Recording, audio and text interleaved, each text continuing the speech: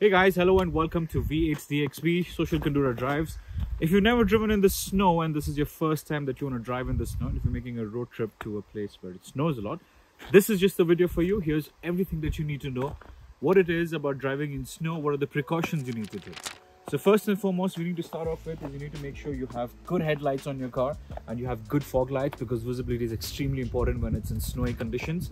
It's also very helpful to have a nice 4x4 like this. Sedans are not recommended for snow, especially for new drivers. If you're seasoned, you can get away with a sedan as well. The most important thing to remember under the hood is doesn't matter which engine that you have, a petrol or a diesel.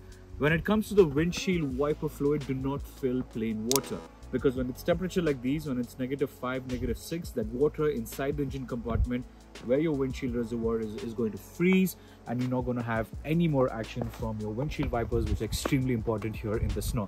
So make sure you get antifreeze from one of the shops over here. You mix that with water and then that goes on side over here as well. The second most important thing that you need to do is make sure that you have snow rated tires on your car. All of these snow rated tires, they're studless and they're stud as well. These are studless tires, which means you can drive on the highways with these and you can take them out here on the snow as well. Ample amount of ground clearance is also very crucial, which is why it is recommended that you use a four-wheel drive and you have high ground clearance. Normal driving on the, on the snow is very similar to how you would on the sand. The only difference is sand is extremely soft, but snow, as you can see, is a little stiff and it does tend to slip around a, a little bit.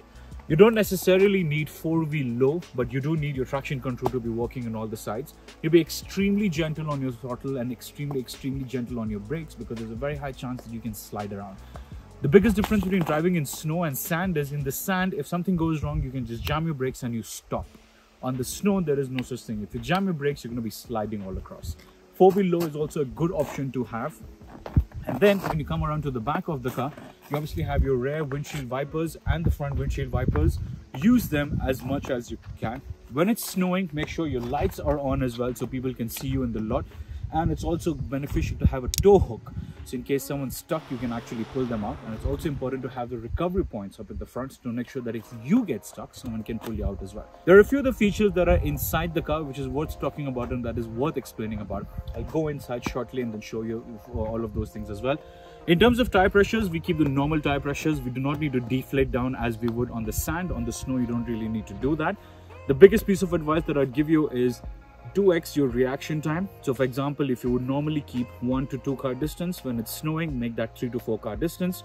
Watch what the car in front of you is doing. At the same time, pay equal amount of attention to what the car behind you is doing. Let's say the driver in front of you is cautious, the driver behind you is not cautious. If he brakes really hard, if, he starts slipping around, you need to make pervasive actions to make sure that your car does not get damaged. If you're renting something over here in any of these snowy conditions, make sure that your insurance covers any damage due to snow and make sure that you have good set of brand new tires. You do not need to be going to these snowy sections with bad tires. This current car that i'm driving is a diesel so it really helps. I was under the impression that a diesel would create problems in the snow with turning on and all of that stuff but it seems to be doing really well. Again same like what you would in the desert. If it gets extremely tricky if it scares you do not approach that. Wait for the other car to go first and then take your turn as well let's go inside and i'll show you two things that you need to know on the side.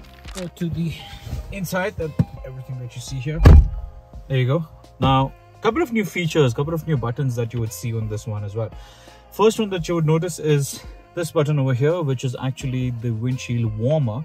So when you switch that button on what it does is it basically heats up the windshield water fluid that you have over there. And like we said before it has to be a mix of water and it has to be a mix of antifreeze but in really cold temperatures it helps to keep that situation warm as well. On the left side over here you'll see another option which says idle up.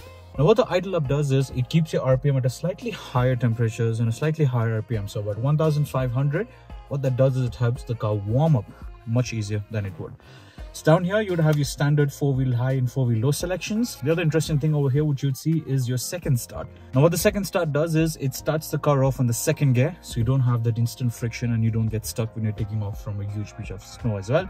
And also the hill descent control, which is there in all the cars and particularly useful in snow when you're going down steep stuff as well. At all times, drive carefully and make sure that you pay attention to the mirrors and make sure your wiper blades and everything is working in stock condition.